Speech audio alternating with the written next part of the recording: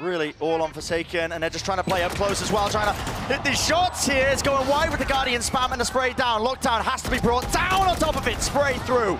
Definitely awkward, definitely scrappy, updraft was